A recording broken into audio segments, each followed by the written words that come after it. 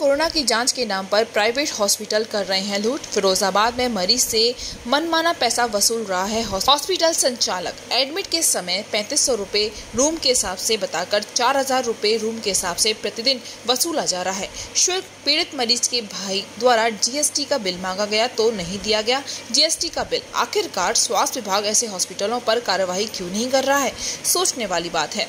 आखिरकार क्यों मेहरबान है स्वास्थ्य विभाग? फ्री इलाज के लिए सूबे के मुखिया योगी आदित्यनाथ द्वारा विभिन्न प्रकार की योजनाएँ चलाई जा रही है, परंतु ऐसे हॉस्पिटल संचालक सूबे के मुखिया की योजनाओं को पलीता लगा रहे हैं। आप वीडियो में साफ़ देख सकते हैं हॉस्पिटल के कर्मचारी मरीज़ के परिजनों के साथ किस तरह की भाषा का प्रयोग कर रहे हैं। पूरा मामला थाना उत्तर क्षेत्र वर्धमान पैलेस के सामने जीवन ज्योति हॉस्पिटल का है। ऐसे हॉस्पिटल संचालक के साथ कानूनी कार्रवाई होनी चाहिए परंतु जिला अस्पताल प्रशासन इन संचालकों पर मेहरबान है। फिरोजाबाद से जिला संवाददाता राजेश कुमार शर्मा अभिनव चैनल के लिए।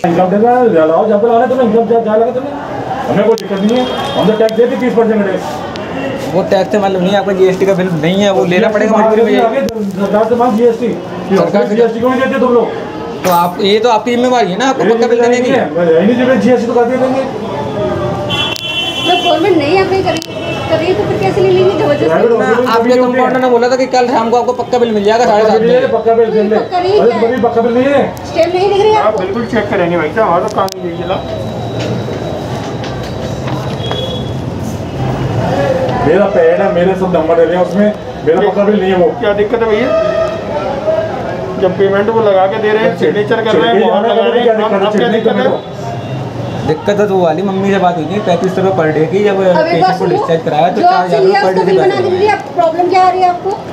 बार बार एक ही बात क्यों रिपीट कर रहे हैं आप?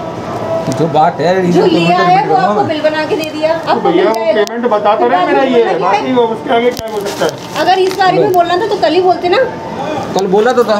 बोला तो था। चिराग अरे ये बात थी उनतीस तारीख को मेरा बड़ा भाई था मुझसे उसको हमने जीवन ज्योति हॉस्पिटल में एडमिट कराया।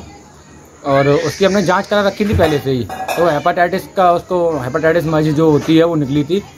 तो उसमें डॉक्टर साहब से हमारी बात हुई तो उन्होंने हमको बताया तीन हज़ार रुपये जनरल वार्ड का है और साढ़े तीन हज़ार रुपये पर्सनल रूम का है अपना।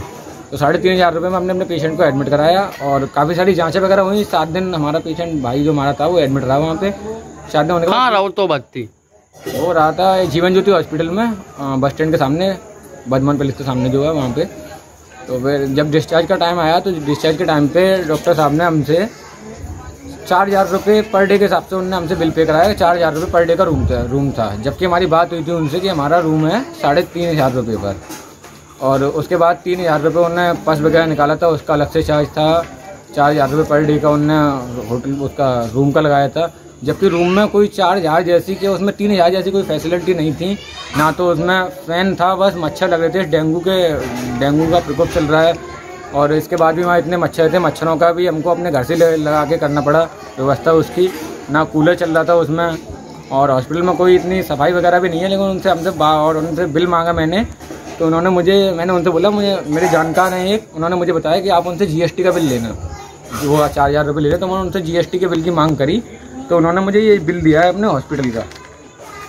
ये बिल दिखाया उन्होंने बोला हमारे पास यही बिल है और बाकी हमारा कोई जी कोई भी शहर के अंदर आपको जीएसटी का बिल नहीं देगा और यही बिल होता है हमारा पक्का यही हमारा आपका चार्ट?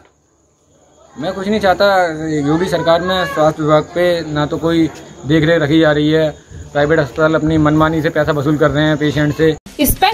हाउस अ कंप्लीट चश्मा घर, जहाँ मिलते हैं आपको हर ब्रांड के चश्मे, जिसमें आपके लिए उपलब्ध हैं रेबल ओकले अरमानी वो जैसे ब्रांड्स साथ ही साथ आधुनिक मशीनों द्वारा आँखों की जाँच भी उपलब्ध है। तो आज यहाँ है spectacle house Babulal market near fire station Krishna Nagar Mathura.